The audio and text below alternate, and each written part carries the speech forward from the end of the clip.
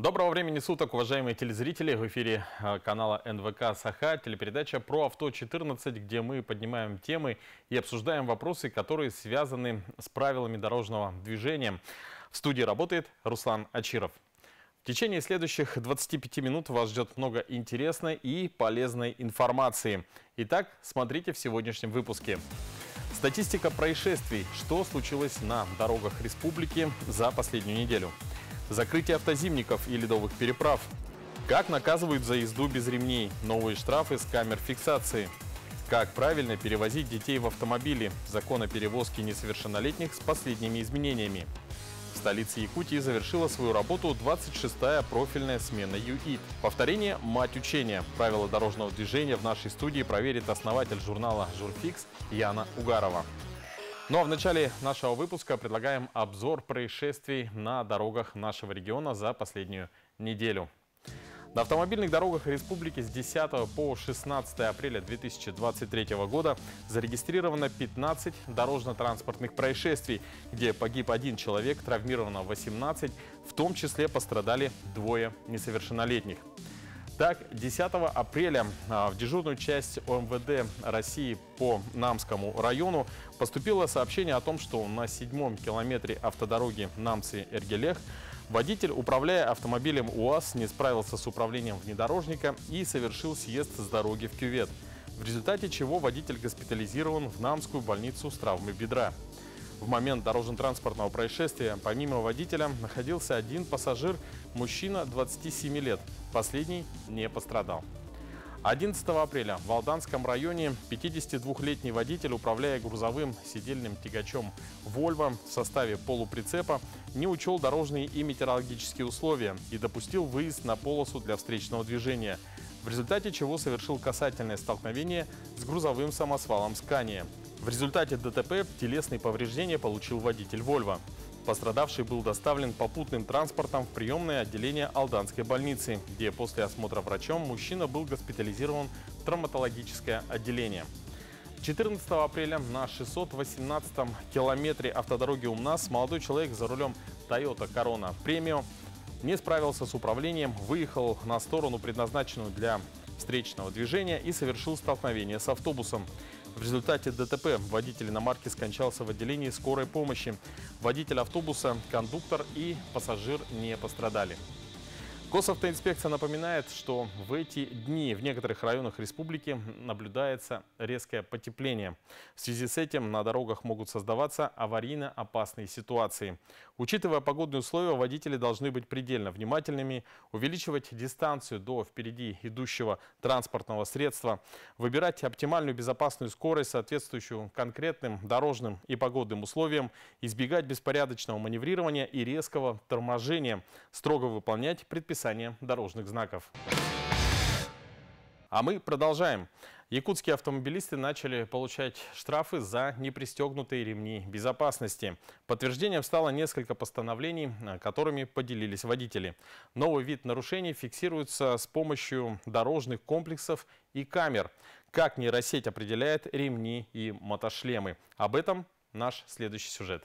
Согласно пункту 2.1.2 правил дорожного движения, обязанность любого водителя пристегнуться самому и проверить, зафиксированы ли ремни безопасности у пассажиров транспортного средства. Водители мотоциклов перед началом движения обязаны надеть и застегнуть мотошлем. Ну, хотелось бы напомнить, что за нарушение правил пристегивания водителю грозит э, административный штраф в размере 1 тысячи рублей согласно статье 12.6 Кодекса Российской Федерации об административном правонарушении. Но важно отметить, что изображение с камер проходит два этапа проверки. Вначале в Центре автоматизированной фиксации административных правонарушений, а затем в ГИБДД.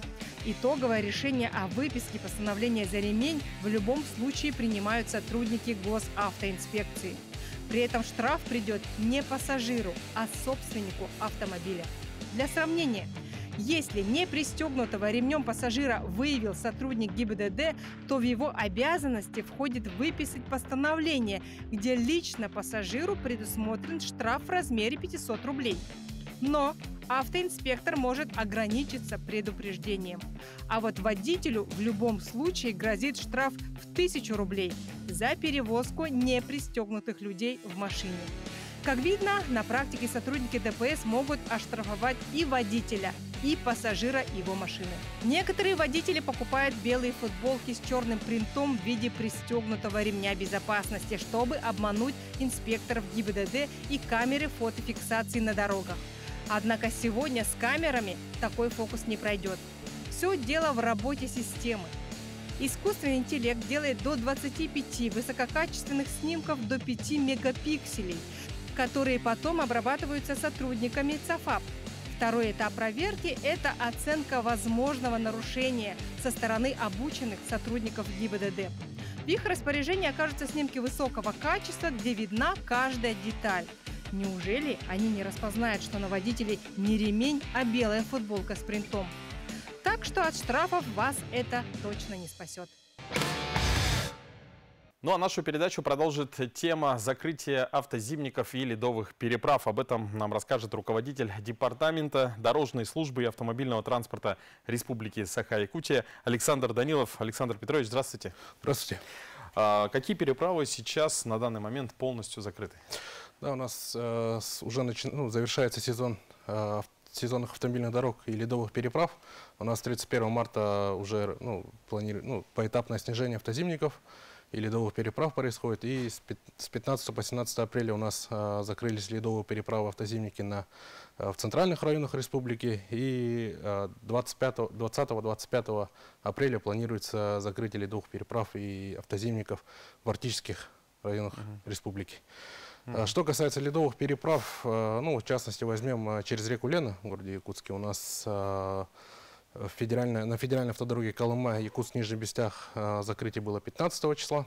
17 числа закрытие было Хатаса-Павловск. То есть на сегодняшний день у нас ледовые переправы официально закрыты. Какие штрафы, я думаю, нужно напомнить, грозят водителю, который выехал несанкционированно на лед?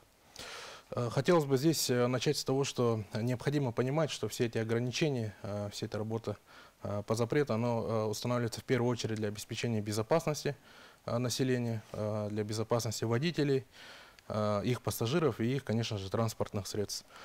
У нас в период, ну, когда вот ледовая переправа закрыта, у нас проводятся рейды с участием представителей УГИБДД, МВД, ГИМС МЧС угу. и Управление по делам ГОЧС и ОПБ. У нас предусмотрены штрафы. Это для населения это от 3 до 5 тысяч рублей, на должностных лиц от 20 до 50 тысяч рублей и юридические лица от 100, до 1, от 100 тысяч до 1 миллиона рублей. А насколько на данный момент выполнен план перевозки грузов по автозимникам? Да, что касается перевозки грузов, у нас а, на сегодняшний день а, перевезено порядка 86,1 тысячи тонн грузов, что составляет 98% планов. И а, вот по мере завершения автозимников планируется часть оставшихся грузов закрыть. Uh у нас, как вы, наверное, все знаете, в январе-феврале у нас были сильно отрицательные морозные температуры. В марте-апреле тоже, наверное, все знаете, у нас были сложные э, погодные условия, это вот э, сильные метели, зимники все забивало полностью, в частности в Кобяйском районе, в Янской группе районов были сложные. Это, конечно, тоже повлияло на динамику перевозки грузов, но благодаря оперативной работе дорожных служб, дорожных организаций, все эти трудности, ну, нам удалось, наверное, уже можно констатировать, что были преодолены. И э, завоз у нас э, ну, на сегодняшний день 98% от плана. И думаю, до конца сезона автозимников э, какую-то часть уже закроем. Как будут организованы пассажирские и грузовые перевозки через реку Лена в период межсезонья? Да, в период межсезонья у нас пассажирские и грузовые перевозки будут осуществляться через реку Лена будут осуществляться с привлечением водного транспорта, в частности по маршруту Нижний Бестях-Якутск. У нас планируется привлечение 30 судов «Хивус», 10, 8 аэроботов «Тайфун» и 3 судна а, «Нептун-23». Стоянки воздушных судов у нас расположены а, на территории дамбы 202-203 микрорайонов. Со стороны Нижнего Бестяха это пункт ожидания а, железных дорог Якутии. В- У нас тариф на перевозку установлен 1500 рублей с одного пассажира, но при, э, в период сложных гидрологических условий и интенсивного, интенсивного э, ну, ледопрохождения э, будут э, привлекаться аэроботы, в которых ну, тариф будет, соответственно, повышен до 3000 рублей. А, По маршруту Кангаласа-Сотенца у нас планируется работа трех суден «Славир-6» и одного работа «Тайфун». Период вот межсезонья и интенсивного прохождения хотел бы еще раз напомнить населению, что мы рекомендуем планировать поездки только при условии крайней необходимости. Нужно понимать, что там условия а, проезда сложные и довольно экстремальные. Мгм. Ну, вот раз уж мы заговорили про воздушные подушки, да, то э, жители 202-203 микрорайонов жалуются на, на шум, да, который они производят. Вот как решается данная проблема? Так, у нас э, в этом году э, Минтрансом э, выделено, окружной администрации города Якутска выделено допол- дополнительное финансирование из средств дорожного фонда э, на устройство примыкающей дороги к месту нового причала. Э, у нас новый причал э, планируется э, в районе станции Намыв, в 204 микрорайоне. У нас на сегодняшний день э, уже ну, заканчивается разработка проектной сметной документации. Э, В частности, у нас на сегодняшний день сформирован земельный участок для организации э, места э, посадки и высадки пассажиров на воздушной подушке, который отвечает всем требованиям санитарных правил по внешнему шуму. У нас, да, в летний сезон планируется проведение строительно-монтажных работ по формированию причала и дорог. Ну, в том числе работы по отсыпке, как я сказал уже, места посадки и высадки пассажиров. И данные работы э, вообще планируют э, привести к изменению транспортно-логистической схемы. И работы у нас планируется завершить в октябре 2023 года. После завершения всех этих работ у нас э, мес- место посадки и высадки пассажиров будет осуществляться в районе вот станции Намы в 204 микрорайоне. Э, да, мы уже ну, много лет получали жалобы от населения и провели данную работу по ну, смене места высадки пассажиров. И после начала функционирования, по итогам места, на месте реализации, будет э, новый причал с устройством э, комфортабельного зала ожидания, парковочных мест и автобусной остановки. Мгм. Но сейчас в завершение давайте напомним водителям, что не стоит рисковать жизнью и здоровьем, поэтому не стоит выезжать на лед. Да, уважаемые э, водители, хотелось бы еще раз напомнить, что все наши ограничения э, устанавливаются в первую очередь для обеспечения безопасности э, как э, вас, ваших пассажиров и ваших транспортных средств. Друзья, ну а я напоминаю, что у нас э, в гостях был руководитель Департамента дорожной службы и автомобильного транспорта Республики Саха-Якутия Александр Данилов. Спасибо большое. Спасибо. А мы продолжаем. Правила дорожного движения, касающиеся перевозки детей в транспортных средствах, начали действовать с 12 июля 2017 года. Какие изменения в ПДД произошли с того времени, что актуально на 2023 год? Подробности смотрите в нашем следующем сюжете. В первые месяцы жизни ребенка для транспортировки детей используют автолюльку с маркировкой 0. Ребенок лежит в ней полностью горизонтально и удерживается спецремнями. Само устройство ставится боком на заднее сиденье. Перевозить младенца можно и на переднем сиденье, но при этом он должен лежать спиной по ходу движения. Детское удерживающее устройство крепится а, в трех точках через а, плечо и закрепляется вот на среднем положении. Пассажир младше 7 лет обязательно должен ехать в машине в детском автокресле, соответствующем его росту и весу, причем как на переднем сиденье, так и на заднем. Ребенок 7 лет а, может находиться без детского удерживающего устройства на заднем пассажирском сиденье, но с использованием бустера. В правилах есть одна оговорка. Если ребенок этой возрастной группы выше 150 сантиметров, а его вес порядка 36 килограммов, тогда можно пристегивать его обычными ремнями безопасности. А если ребенок ниже полутора метров, Да, в таком случае используется бустер. Вот на примере транспортного средства, вот, которое находится бустер. Бустер крепится к так же, как и в штатном режиме, и закрепляется ремнем безопасности. И помните, если человеку еще не исполнилось 12 лет, его нельзя сажать на заднее сиденье мотоцикла, нельзя транспортировать в кузове или в прицепе, а также категорически запрещено перевозить малолетних на руках, поскольку вес ребенка в момент столкновения увеличивается во много раз и удержать юного пассажира практически невозможно. С начала года по Республике Саха-Якутия привлечены 2448 водителей по части 3 статьи 12.23 КАП РФ, а это значит за перевозку детей без детских кресел. А за нарушение такого требования предусмотрена административная ответственность, а штраф на водителя в размере 3000 рублей, на должностных лиц 25 тысяч и на юридических лиц 100 тысяч. И еще с начала года одно юридическое лицо было привлечено по части 4 статьи 12.23 КОАП РФ, а, когда при организованной перевозке групп детей автобус не соответствовал требованиям правил.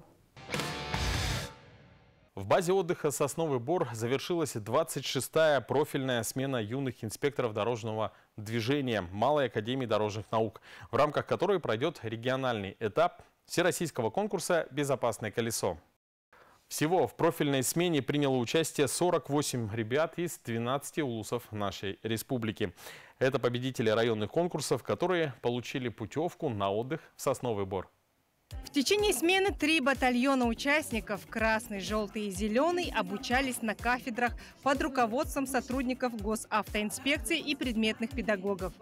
Практические занятия юных инспекторов дорожного движения проходили в современном детском автогородке «Безопасная дорога» на базе центра «Сосновый Бор». Ребята в реальных условиях практиковали отработки знаний правил дорожного движения.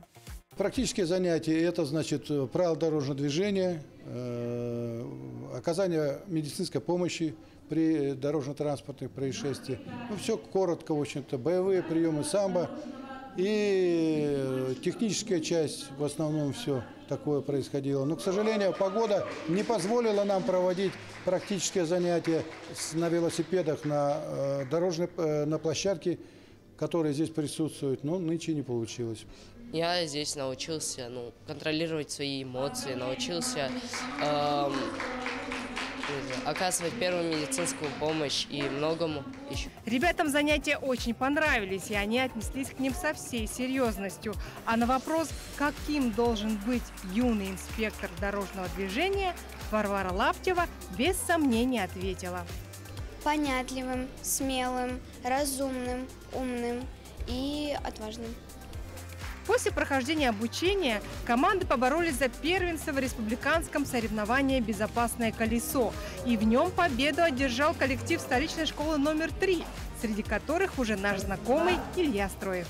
ЮИТ – это, ну, как бы, для меня вторая жизнь. Я с удовольствием хочу приступить к любимой многими нашими телезрителями рубрике, где известные люди нашего города, республики проверяют свои знания правил дорожного движения.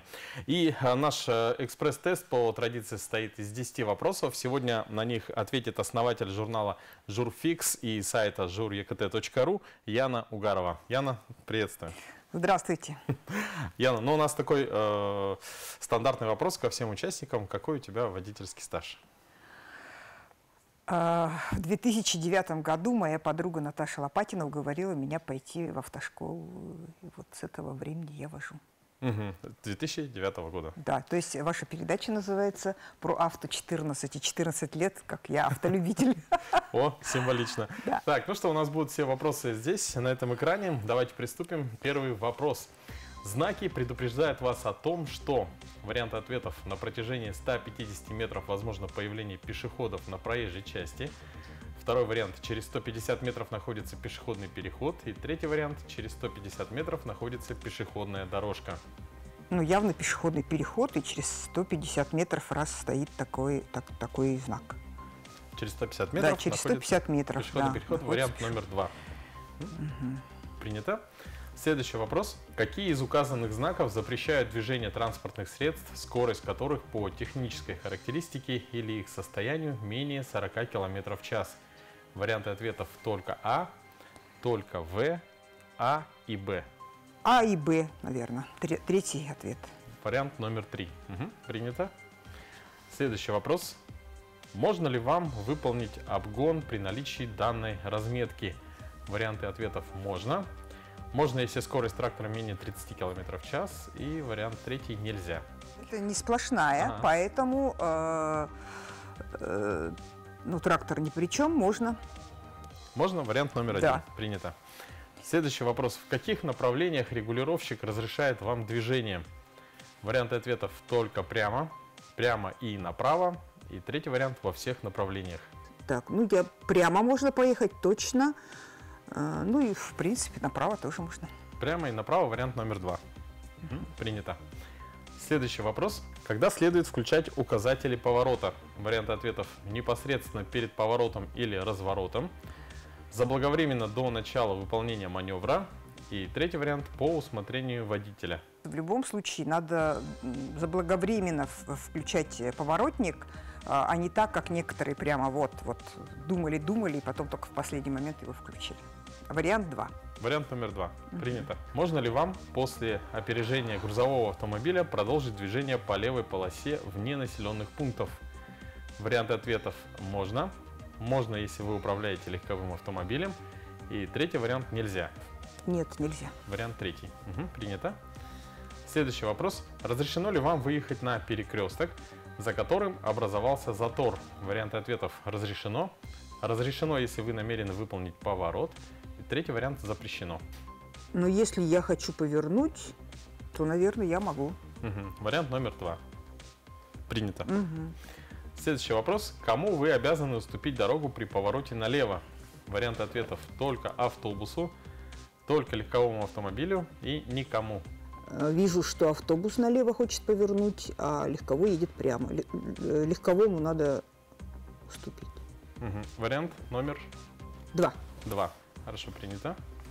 Следующий вопрос. Водителям мопедов разрешено двигаться. Варианты ответов. Только по правому краю проезжей части в один ряд. Второй вариант. Только по обочине, если не создаются помехи пешеходам. Третий вариант. Только по полосе для велосипедистов. И четвертый. Во всех перечисленных случаях. Помехи пешеходам всегда есть.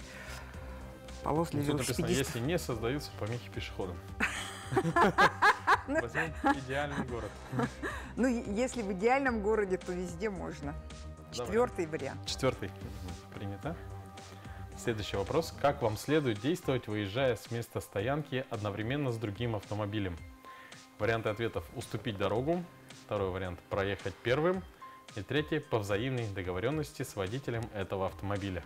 Ну, я думаю, тот же момент действует, да, что как-то надо там помахать, кто очень торопится, тот и, наверное, проедет. Тут вот как-то не, не вижу я такой прямо... Э, возможно, что-то изменилось в правилах, но как-то я тут не вижу, что есть четкое правило по поводу вот этого выезда со стоянки. Угу. То есть э, по взаимной договоренности с водителем. Ну да, да. Как-нибудь надо договориться. Перемигнуться. Да. Вариант номер три. Хорошо, принято. Это был последний вопрос. И сейчас все результаты проверит э, преподаватель учебного центра «Фаворит» Наталья Ленских. Здравствуйте, уважаемые телезрители. Яна, здравствуйте. Вы ответили на 10 вопросов. Первый вопрос был. Знаки предупреждают вас о том, что... И вы дали абсолютно верно. Ответ действительно через 150 метров находится пешеходный переход. Какие из указанных знаков запрещают движение транспортным средством, скорость которых по технической характеристике или их состоянию менее 40 км в час? Знак А – это автомагистраль, Б – дорога для автомобилей. И на двух этих дорогах запрещено движение транспортных средств, скорость которых по технической характеристике или их состоянию менее 40 км в час. Вы дали правильный ответ. Можно ли вам выполнить обгон при наличии данной разметки? С нашей стороны прерывистая линия разметки, значит, действительно обгон выполнить можно. Это был правильный ответ. В каких направлениях регулировщик разрешает вам движение? Со стороны левого и правого бока разрешено движение нам без рельса МТС прямо и направо. Был правильный ответ. Когда следует включать указатели поворота, здесь вы подробно объяснили, по какой причине. Действительно, нужно включать сигнал поворота заблаговременно. Да, тут я была уверена. Можно ли вам после опережения грузового автомобиля продолжить движение по левой полосе вне населенных пунктов? Вне населенных пунктов при свободных правых полосах нужно держаться правой полосы, поэтому правильно ответили, нельзя, нужно перестроиться в правую полосу. Разрешено ли вам выехать на перекресток, за которым образовался затор? Конечно, при движении прямо это было бы сделать запрещено, но поворачивая направо и налево можно. Вы дали правильный ответ. Кому вы обязаны уступить дорогу при повороте налево? Яна, к сожалению, здесь вы ошиблись. А, вы немножко не внимательно посмотрели на знаки приоритета. А, ведь главная дорога у нас действительно поворачивает налево. Автобус находится на второстепенной дороге. Значит, соответственно, он будет вам уступать. А вот вы и водитель легкового автомобиля оба находитесь на главной дороге. А, в равных условиях и должны смотреть на правила помехи справа. Он вам уступит дорогу, так как вы для него помеха справа. Никому не надо было здесь уступать. Понятно. Водителям мопедов разрешено двигаться, и здесь вы правильно ответили, во всех перечисленных случаях. Как вам следует действовать, выезжая с места стоянки одновременно с другим автомобилем? На данном вопросе вы тоже ошиблись. А у нас есть правило помехи справа. Если очередность движения транспортных средств пересекаются, а очередность проезда не оговорена правилами, следует уступить дорогу транспортному средству, приближающемуся справа. Поворачивая налево, вы повернетесь к автомобилю своим правым боком, поэтому должны будете уступить им. Хорошо, буду теперь знать, что надо уступать. Не забывайте про помеху справа. Яна, вы ответили на 10 экзаменационных вопросов и ошиблись на два вопроса. Я рекомендую вам повторить правила дорожного движения. За 14 лет водительского стажа правила, наверное, подзабываются. И рекомендую всегда повторять. Повторите правила помехи справа. Обязательно повторю, а, но я считаю, что 8 из 10 для меня хороший результат. Согласна. Спасибо. Вот и подошла к концу наша передача. Дорогие телезрители, будьте бдительны, соблюдайте правила дорожного движения, берегите себя и удачи на дорогах. До новых встреч в эфире.